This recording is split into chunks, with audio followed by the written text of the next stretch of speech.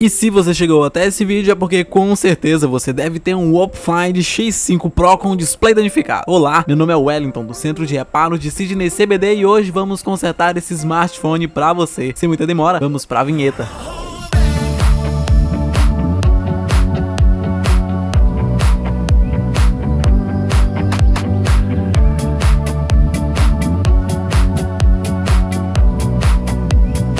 E primeiramente, antes de tudo, se você ainda não é inscrito no nosso canal, já deixa o seu like, curte, comenta, compartilha, se inscreve e não esquece de ativar o sininho das notificações.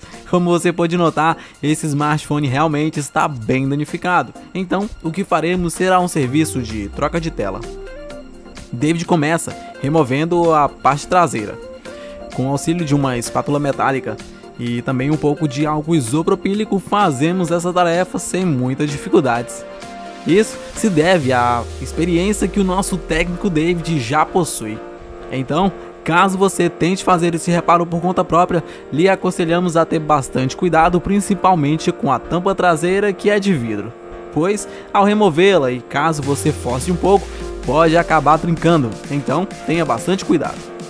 Observamos que ele ainda está com os adesivos originais de fábrica, o que indica que aparentemente esse aparelho nunca foi aberto. David agora remove alguns dos parafusos e desconectamos a nossa subplaca de carga que fica ali embaixo. Vemos essa fita preta que também é responsável pelo sistema de carregamento sem fio. E é neste momento que David fará o teste com a nossa nova tela.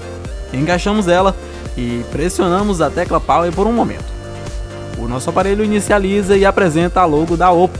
Então, é um bom sinal de que o nosso modelo está funcionando de forma perfeita. David fará alguns testes básicos, dentre eles os testes de touch, câmera frontal, câmera traseira, microfone e mais alguns.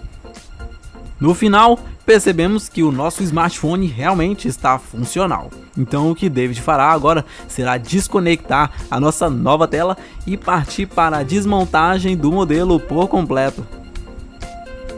Removemos a bandeja do cartão SIM e também alguns demais componentes. Esta pequena placa que David remove na parte de baixo é o nosso setor de carregamento, ou subplaca de carga. Ela é responsável por carregar o nosso aparelho e também por transmitir algumas informações como o do cartão SIM, o chip. David agora neste momento fará a remoção da nossa tela frontal. Com o estilete, David agora começa a cortar parte da cola e fazer aberturas na carcaça do nosso modelo. Esse processo é necessário, pois assim criamos uma abertura para a nossa espátula adentrar e assim podemos remover a tela que está danificada. E caso você tenha um smartphone como esse com display danificado, nosso conselho é que você não tente reparar por conta própria. Isso caso você não tenha as ferramentas adequadas ou até as ferramentas necessárias para esse tipo de conserto. Então, com auxílio de uma espátula e também de um bisturi, David agora remove. E pronto, já temos o nosso display separado da carcaça do nosso aparelho. O que David fará agora será a limpeza da nossa base. Removeremos qualquer resquício de cola e também pedaços de cacos de vidro que possam ter ficado. Então, essa limpeza se faz necessária. Isso para que o nosso display venha a se encaixar de forma perfeita e não fique nenhuma obstrução. Como você pode observar, os adesivos originais de fábrica permanecem do aparelho. Então, iremos reutilizá-los boa parte. Assim, manteremos o nosso modelo mais próximo do original possível. Utilizando um pouco de cola líquida, David agora aplica na base do nosso modelo, somente nas extremidades. Ela será bem útil para que o nosso display fique fixo no lugar. E se você está assistindo este vídeo até aqui, já deixa o like, curte, comenta, compartilha, se inscreve, aproveita e já assina o sininho das notificações. Fazendo isso, você está nos motivando a estar sempre trazendo vídeos novos para você.